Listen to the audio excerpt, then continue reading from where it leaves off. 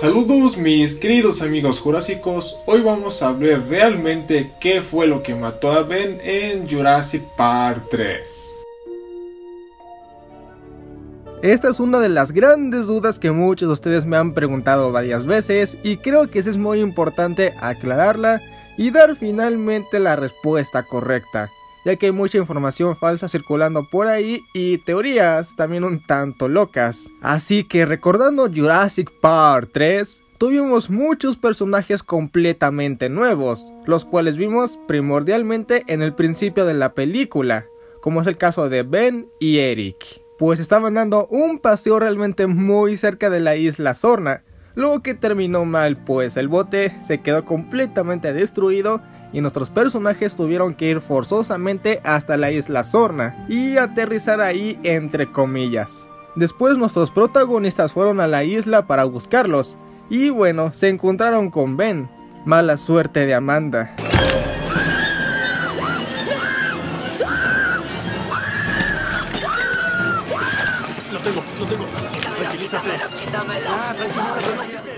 Pero ahora bien, la explicación a este hecho de realmente qué fue lo que mató a Ben viene en el primer libro de la trilogía de Jurassic Park Adventures, el que recibe el nombre de Sobreviviente, del cual ya he hablado anteriormente pues justamente el libro comienza cuando nuestros personajes están cerca de la isla Sorna tomando el paseo. Y aquí se nos aclara que al parecer es una explicación realmente sencilla y muy básica pienso yo, pues resulta que en la caída o aterrizaje forzoso o mal aterrizaje como quieran llamarlo, Ben se lastimó realmente mucho, causándose heridas internas muy graves. Así que al quedarse atorados en el árbol y después de soltar a Eric, prácticamente vimos en la película que él procedió a apagar la cámara, pero lo que sí ya no vimos es que Ben le pidió a Eric que lo dejara ahí, porque sus heridas realmente eran graves y obviamente no podían tratarse ya, no había ningún hospital cerca, y Ben pasaría a ser solamente un estorbo para Eric,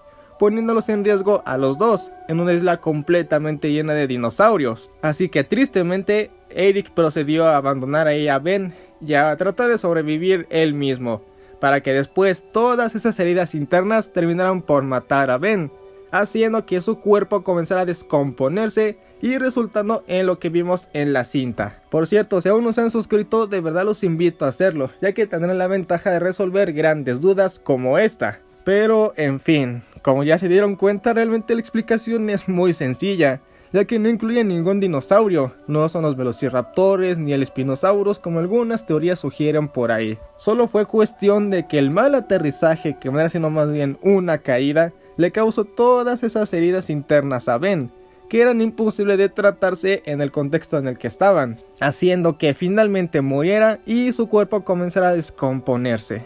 Y sé que quizás hay algunos huecos por aquí, algunas cosas ilógicas o que no coinciden bien o no tienen tanto sentido. Pero es la explicación oficial que se nos da en el libro que les acabo de mencionar, para bien o para mal. Ahora sí, no sé si a ustedes realmente les gusta esto o prefieren las otras teorías que circulan por ahí. Pero esto es lo canónico y confirmado. Suscríbete para ver más videos de Jurassic Park. Y si te gustó, por favor denle like al video. Muchas gracias y nos vemos en la próxima.